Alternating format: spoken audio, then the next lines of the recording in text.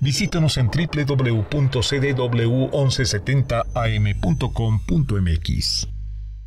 Bueno, este, saludos a su amigo Enrique Limón de aquí de arriba con Limón.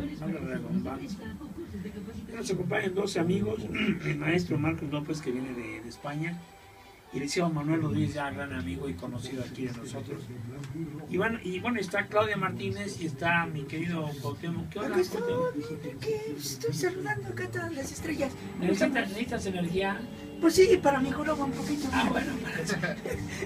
A ver si me pueden rehabilitar. Bueno, ahorita te voy a rehabilitar. Bueno, ellos vienen a platicarnos sobre la energía fotovoltaica en México. Una cosa es eh, los calentadores solares para calentar el agua y otra cosa es la fotovoltaica para la energía eléctrica. A ver, vamos con mi querido Manuel, Liceo Manuel Rodríguez. Vamos rápidamente. Pues rápidamente, usted nos puede encontrar en redes sociales como ITAER, somos el Instituto de Transculturación Ambiental y Energías Renovables, somos el ITAER, nos pueden encontrar en las redes sociales y en nuestra página de internet. Nosotros somos una asociación civil, la cual, pues para sostenernos hacemos cursos, conferencias y demás, así que los invitamos a que nos busquen en estas redes y en la página internet y toda la información está en el docente con Marcos López. Vamos con Marcos López para que nos platique también un poquito. Sí, un poquito hablar de la situación actual que vive México, es decir, la apuesta que tiene que hacer pues, por el tema de las energías renovables. Concretamente, vamos a hablar de una que es la energía solar fotovoltaica. ¿no?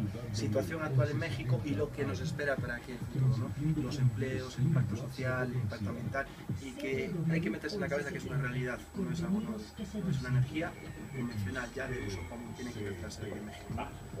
Pues hay que, hay que, hay que buscar, aquí ya dijimos en el ITAEF, para que usted tenga información y se pueda empapar de esto que es maravilloso. Me lo voy a llevar para Cuernavaca. ¿eh? Ya necesitamos Hombre. energía. Que nos lleve el cuau.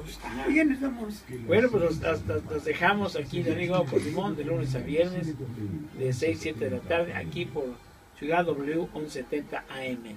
Adiós Nicanor, su amigo Enrique Limón, y esta mañana. Visítanos en www.cdw1170am.com.mx.